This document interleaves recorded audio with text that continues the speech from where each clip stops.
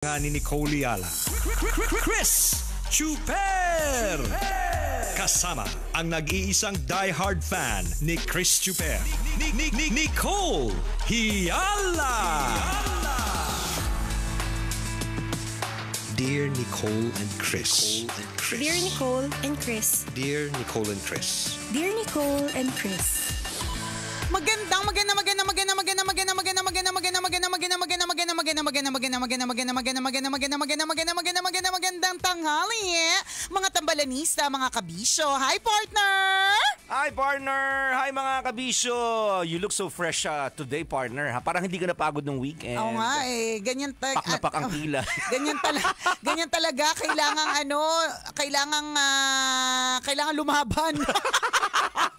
Kailangan masustain ang kagandahan. Kailangan matandaan na ano na ang daming kailangan gawin. So sa gitna Oo. ng lahat ng mga kailangan gawin at tapusin, hindi pwedeng maging tsaka. Yan, ano ang dami nang ginagawa, ano ka pa, 'di ba? Nabulok ka pa na maaga, 'di ba? Balansin, balansin mo din, ganun. Uy, totoo yun ha. Hmm. Ang, ah, ang Nicole Yala po, ang tambalan actually naging busy ah, ah, recently. Parang wala nga pahinga eh. Wala. Konti lang talagang itinulog pero Oo, wag ka pagising mo. Diba? Pak na Oo. pak pa rin ang pilikmata. Siyempre hindi Walang- naman, siyempre hindi naman to totoo. Siyempre nagpapa-makeup ako ngayon. ang katotohanan Ay, din. akala ko gumising, I woke up like Hindi, this. Ang katotohanan, hindi mo nakita yung tsura ko partner nung pagpasok ko dito sa station kanina umaga. Yung parang walang ano, yung parang wala talagang tulog, ganun. Hindi mo nakita yon At walang nakakita nun. Dahil hindi ka nagpakita. Hindi ako nagpakita. Kasi sasabihin nila, ay, confirm. 45 na nga siya. confirm yung edad niya, ganun. Iba talaga nagagawa ng makeup, Iba talaga no? nagagawa ng makeup. Iba talaga naka, nagagawa ng funda, di ba? Kaya ako, wala akong, walang masama, walang masama dyan sa mga makeup-makeup na yan, ganyan-ganyan. Tapos minsan may manaririnig akong mga lalaki na nagsasabi, nako, gusto ko sa mababae natural. Ang mukha nyo natural. Galit. Nakakaloka. Hindi, pero... Para ma-enhance, Oo, ah. wala, wala, wala Oo. namang, ma- wala namang ting masama. Kaya kung ikaw na makapagreklamo ka tungkol sa kakilala mo, kaopisina mo, o kaibigan mo nga panay ang makeup, hindi nga siya nagreklamo kaka-filter mo eh, di ba? May lahi ka na nga, ha, Filipino ha, filter, di ba? hindi nga siya nagreklamo eh. O, so ka na magreklamo kung gusto niya mag-makeup at magpaganda, di ba? Kung yun yung paraan para magkaroon siya ng self-confidence, Yes. di ba? Totoo yun na, yung pag-enhance ng itsura natin, Oo. pwedeng sa pananamit, pwedeng sa buhok, pwedeng, sa, kilay, makeup, pwedeng sa actual, ilong, ngipin. correct ka, eh. actual na magpapagawa ng ilong, ngipin, or di ba, yung mga ganun. Bakit hindi? Correct. Nandito na tayo sa sa mundo ng siyensya, sa mundo ng AI, sa mundo ng chat GPT, sa mundo ng, ah, ng teknolohiya, di ba? So wag nang nagugulat kung biglang ah, dating m- ano yung lagi ko sinasabi partner, ilong na parang uh, paa ng shih tzu from, from ganyan. Ini-imagine talaga namin anong itsura Oo. nun. Parang hirap i-describe. Eh, di ba sa kalat? Alam mo, parang... Para may mga Paanan- kuko din ba? Basta parang ganun, ang daming linya, ganun. Tapos mabuhok din. Oh, mabuhok, 'di ba? From ganun, wag wag ka nang yung parang pag-usapan niyo pa tapos biglang isang araw tumangos, 'di ba? Eh, hayaan mo na.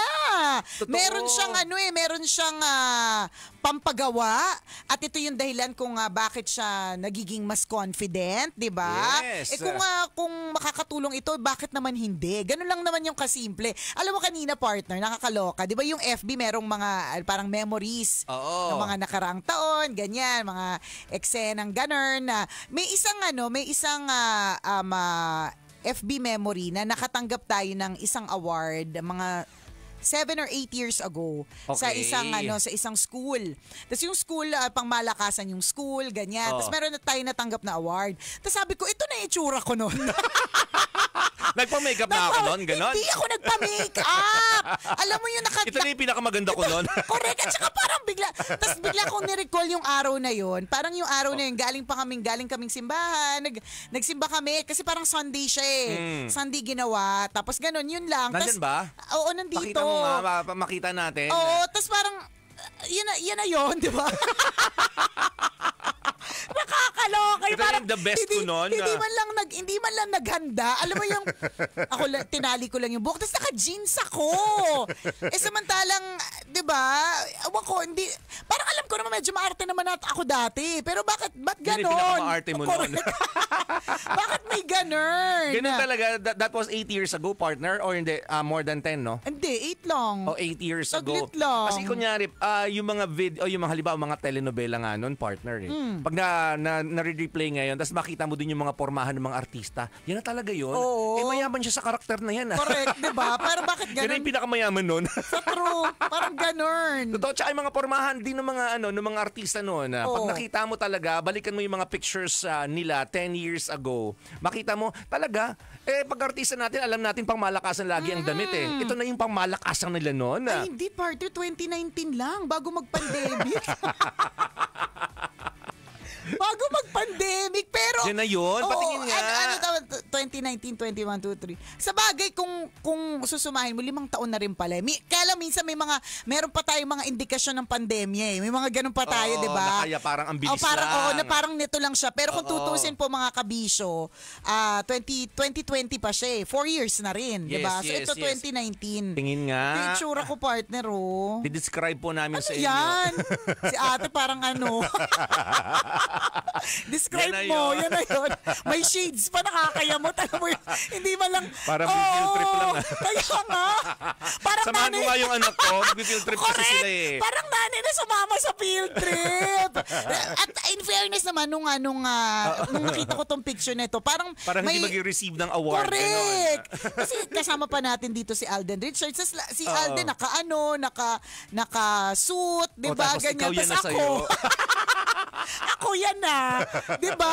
Promise, nakakaloka. Eh, napakabongga naman tong award na to. Oo. Oo. Naman si, si Alden naka ano, naka-coat, Naka-coat. naka-suit. Oo, naka-suit. Oo, tas A- ikaw. ako parang sinutsutan. ako partner parang sinutsutan. Si, si Alden naka-suit. Oo. Ako parang sinutsutan ng suit. Attend ka ng awards, ganun. Tapos doon ka lang din na, parang napagtanto-tanto din na, Mm. na ah, sandabukal na yung mga pinuntahan natin na ganyan, pati events, mga ganun, na in all fairness, kinukuha din naman talaga tayo, hindi dahil sa itsura natin, 'di ba? Oo. Parang add-on na lang kung medyo nagka-itsura na tayo ngayon, 'di ba? Pero kinukuha tayo dati nung araw pa nang dahil sa kakulitan. Mm, nang dahil sa karakter. Oo, nang dahil sa karakter. So kumbaga, bonus na lang kung medyo kahit papaano kuminis, pumuti, nagka-itsura, in ganyan. fairness, ang bilis ng evolution mo. Ha? That was five years ago. Five years Tapos ago. ngayon, oh, pak na pak na lagi. Oo, oh, sabi ni. Kuya Boypi, si Kuya Boypi ba yun? Oo, ano sabi? Pa-attend ka daw ng PTA meeting. Oo, di ba ganun, parang ano, oo, parang ano Oo. lang, yung parang basta oh, ano, attend ka ng ano, attend ka ng meeting, okay, sama ka sa field trip, ganon. Hindi parang mukhang a-attend ng award. Pero alam mo, meron akong uh, meron akong ah, explanation diyan, partner eh. Usapan namin tong nag, nag, ah, girls night out kami ng ng ah, hindi planado kagabi nila ano ni Rocky Terra, ni Robin Shena, ganyan. Saka yung si si Jean ng TMG. So, parang ano, parang ah, napagtanto ko lang din kasi iba kasi talaga kapag ka ang isang babae naging nanay kasi siya. For 'di ba sa, sa- sabi nga um, when a child is born, a mother is also born. So parang nagiging bagong tao siya. Biglang biglang isang araw yung babaeng yan eh nagpapadede ng anak na dati namang hindi naman ang laking pinapadede. Sinabi ko ba yun? Nakakaloka. Nalito lang, nalito lang. Nag-gets Sorry, naman sorry, namin, sorry, gets sorry. naman namin. Hindi Di ba yung- dati yung pinapadede mo, Ah, diba? pamangkin mo. Yan, di ba? Oo. Na, oo, ti, di ba? Hindi, totoo, dati pamangkin mo lang. Oo. Di ba? Kasi isa ka lang ganap na tita. Yun naman ang Yes. ibig sabihin natin, Yan, di ba? yan, yan, Isa ka lang ganap na Lusot tita. naman, lusot. lusot, lusot. lusot. naipasok, naipasok. Ganun. Tapos biglang isang araw, yung, yung, ah, yung dibdib na isang babae, nagkaroon ng bagong function. Tapos lahat Oo. ng parte ng katawan niya magbabago. Yung mga dating nakatayo, lalayla. Yung mga dating nasa taas, ngayon ay nasa lupa na. Di ba? Parang ganun. parang ano, parang basta may mga ganon. Yung dating hindi sumasawsaw sa kape, sumasawsaw na sa kape. Kumbaga parang nagiging bagong tao. Tapos biglang biglang yung yung babaeng yon na dating dalaga tapos ah, naging nanay, biglang magkakaroon siya ng mga bagong responsibilities, bagong mga iniisip, bagong bago lahat. Ana- na at the same time mag-adjust pa rin siya na kailangan niya pa rin magtrabaho, kailangan niya pa rin maging misis, isa pa rin siyang kaibigan sa mga kaibigan niya, kapatid pa rin siya, 'di ba nakakaloka? So, so Yan yung pinag-usapan nyo Oo, yun yung ano, yun yung yun yung usapan namin kasi min- minsan meron tayong feeling na bakit yung mga nanay parang ah, lagi na lang silang galit o kaya um, ah, Mm. ah, bakit hindi hindi nila ayusin yung mga sarili nila, ganun. Hindi kasi siya hindi kasi siya yung agad-agad for everyone. Mm, So, naalala ko lang ito, 2019, kapapanganak ko lang nito kay Prince. So, kumbaga ako partner, parang hindi pa ako nakakabalik dun sa realidad na ako si, ano, ako si Nicole na maarte. Alam mo yon na, na bago ko naging isang nanay.